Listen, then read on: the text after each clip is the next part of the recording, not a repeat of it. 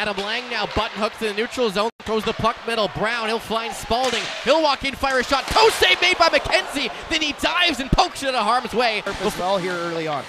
Face off to his left. Sticks going flying as they score off the draw. Bit of a weird play that ends up in the back of the Spruce Grove Saints nets. Wesley Golden's going to take credit. GP up one. Spalding breaking in, back pass in front, and they couldn't convert. Hunter Brown and Benacasa were both there, and as McKenzie was sprawled out from left to right. Go to the blue line, 30 seconds left on the PP. Left side point, Bond across. Benacasa fires, just missed short side. Rebound for Bond, blocked in front. Had it not been blocked, McKinley through center. He'll find Oakenfold down low. Oakenfold walks it backhand, stopped by Connor McKenzie. What a stop from the GP goaltender. Bond middle. McKinley lets it fly. Tip just wide. Essa walks in. Toe drag shot blocked in front. GP can't clear just yet. Rebound in front again. Third stop made. Another one stopped by Connor McKenzie off Brandon Spalding. Now off the face-off, rims it all the way around Miller. We'll poke that along. Maybe a two on one here. Watkins right wing side. Watkins down low, cuts middle. Watkins waiting, fires. He scores! Liam Watkins, the Nebraska Omaha commit, barred in, and we're tied at one. What a what a way to score your first goal of the season, Brandon. Set play out of the offensive zone. Win a face-off.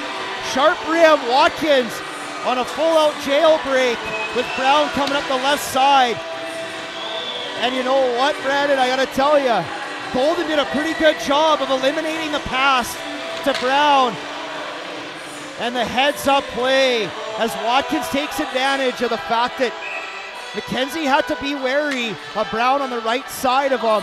And man, oh man, just a rip job bar down. And the Saints full value for a 1 1 tie here, Brandon, as they really started to push this period.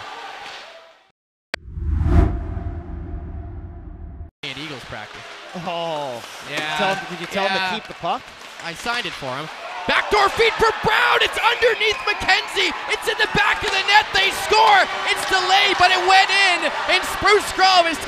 2-1 lead. It slipped through. It's down low on the near side. Nobody can find it. Hunter Brown knows it's in. Yeah, you can see it. Yeah, you can see Brown just lift the padding up just a hair, and it went underneath, basically right underneath that the the padding, and it rolled underneath the, the net there. And you can see the goal horn go. Hunter Brown, three goals in three games. And the Saints get their first power play goal of this game. One for six on the power play. Stay hot, Hunter Brown. Hunter Brown, the 0-3 from Fort St. John, is third in as many games, like you said.